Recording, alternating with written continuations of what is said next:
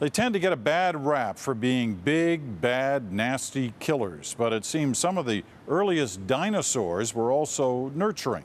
Scientists in Toronto revealed new findings today about creatures who roamed the Earth during what has been a very murky era, the early Jurassic, almost 200 million years ago.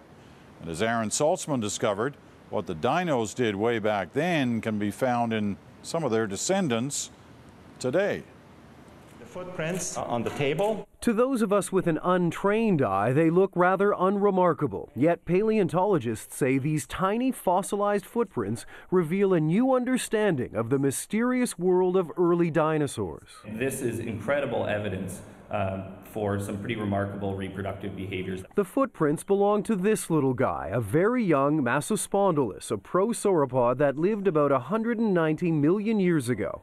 The Massospondylus nesting site in South Africa was actually first discovered in the late 1970s. But in the last few years, a team from the Royal Ontario Museum and the University of Toronto has found 10 more nearly fully preserved nests, and along with them, some fascinating insights. Turns out the dinosaurs returned to the same spot to lay their eggs year after year for hundreds, perhaps even thousands of years. They nested in large groups, much like bird colonies. The nests themselves were highly organized, suggesting the mother may have carefully arranged the eggs after she laid them.